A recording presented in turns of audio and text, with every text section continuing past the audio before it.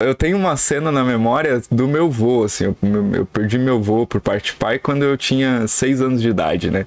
E a cena que eu tenho na memória é ele entrando, assim, pela porta de trás da, da casa, era uma casa, assim, é, num lugar bem rural, assim, né?